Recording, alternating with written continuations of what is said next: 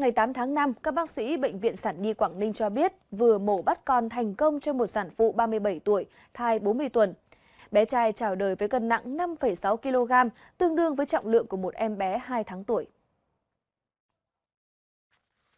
Các bác sĩ cho biết bé trai chào đời khỏe mạnh, tuy nhiên cần theo dõi sát để tránh nguy cơ biến chứng do nặng cân, bởi trường hợp trẻ sơ sinh nặng cân thường gặp ở mẹ mắc tiểu đường thai kỳ. Khi đó bé dễ bị hạ đường huyết, suy hô hấp, nhiễm trùng huyết, viêm phổi. Trường hợp này, mẹ cao 1m58, nặng 84 kg, trong quá trình mang thai không làm xét nghiệm sàng lọc, không xét nghiệm tiểu đường thai kỳ nên không rõ có mắc bệnh hay không. Đây là lần mang thai thứ ba của chị. Hai lần sinh trước thai đều to, bé chào đời nặng lần lượt 4,2 kg và 3,9 kg. Trước đó năm 2020, một bé gái chào đời tại bệnh viện này nặng 6,1 kg, gần bằng trọng lượng của một trẻ 3 tháng tuổi.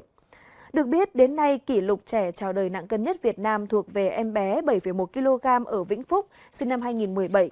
Một bé gái ở Gia Lai chào đời năm 2008 cũng nặng cân gần 7 kg.